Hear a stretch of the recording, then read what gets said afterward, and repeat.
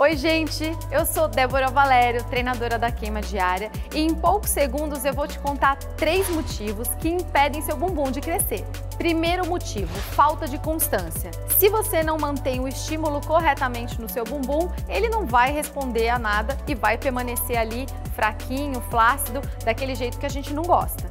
Segundo motivo, não fazer o treino correto. Não adianta ficar treinando se a postura e a consciência não estiverem corretos. O bumbum não vai melhorar. Terceiro motivo, fazer os exercícios errados. Nem sempre o exercício que você acha que é para o bumbum está realmente atuando nos músculos do bumbum. Você pode estar treinando mais coxa do que bumbum. Gostou? Então nos acompanhe nas redes sociais para mais curiosidades.